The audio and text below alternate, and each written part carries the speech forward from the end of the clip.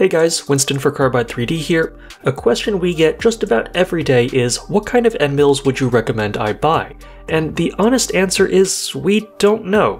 The answer to that question really depends on what you want to make. If you're cutting out big wooden signs, you're going to need a very different set of tools than someone who's milling tiny jewelry pieces.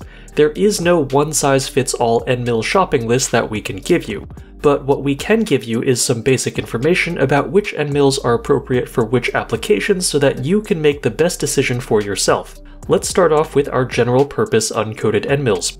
Examples of these include the 100 series tools like the 101 through the 122, as well as quarter inch shank end mills like the 201 and 202. These American-made solid carbide end mills will work in just about any material we recommend our CNCs for wood, plastic, non-ferrous metals, and more. Flat cutters will cut out flat bottom pockets or straight walls. Ball end mills are good for cutting 3D surfaces. The diameter of the cutter is also important. The skinnier the end mill, the finer the features you'll be able to machine, but these end mills need to be treated more gently. Eighth inch and quarter inch diameter end mills like the 102 and 201 will be great for woodworking type applications on the Shapeoko, where you want a sturdy cutter to quickly cut out basic shapes or mill out pockets. The longer flute length will also help you deal with thicker materials. The 102 8th inch end mill has a half inch of flute length and the 201 has 3 quarters of an inch of flute length. Generally, you don't want to cut deeper than your flutes as the shank will start to burnish or rub against your stock material. You can bend the rules a little here, but we suggest not straying too far from the maximum advertised depth of cut for each end mill. Smaller end mills, especially ones with a tapered shoulder, will simply not be able to mill channels deeper than their flutes.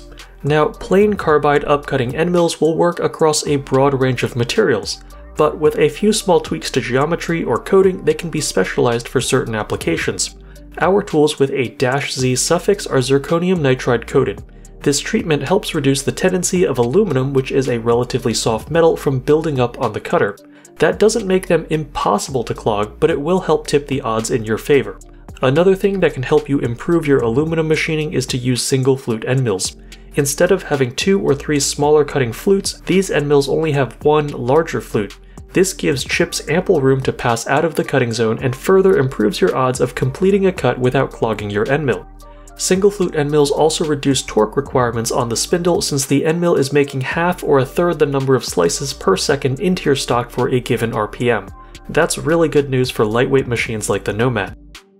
In wood, plywood, or MDF, a down-cutting end mill may be advantageous because the cutting action of the rotating end mill will naturally mat down the fibers, preventing them from tearing out or chipping. Upcutting end mills act just like drill bits, they're constantly trying to pull material upwards.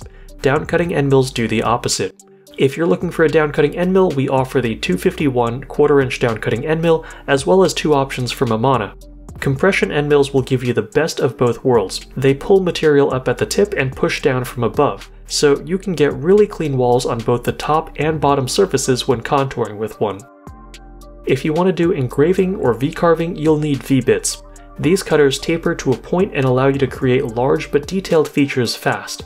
They're a staple in sign making and woodworking. We offer two V-cutters in 90 and 60 degree flavors as well as the RC1148 in the Amana starter pack.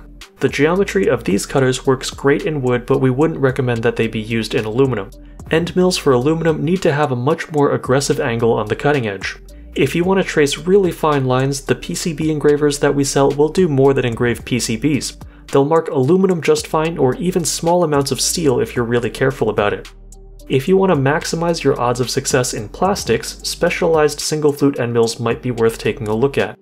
Plastic-specific end mills tend to have the most aggressive angles on their cutting edges and extra deep flutes for better chip evacuation. We offer a set of Amana end mills just for this purpose. Do note that the sharper cutting edges and deeper flutes come at the expense of outright strength, so an aluminum cutting end mill could conceivably be used on plastic, but not vice versa. At the end of the day, before you start buying up exotic and expensive end mills, try a basic carbide end mill first. Unless you're machining steel, a general purpose uncoated cutter will get you pretty far. I hope this video gives you an idea of some of the factors you need to weigh when shopping for end mills. How detailed are your features? How deep do you need to cut? What kind of materials will you be cutting? The answers to those questions will dictate what kind of cutter you'll need for your project. If you're still feeling stumped after watching this video though, feel free to reach out to our sales team who can help point you in the right direction. Until next time, good luck and have fun machining folks.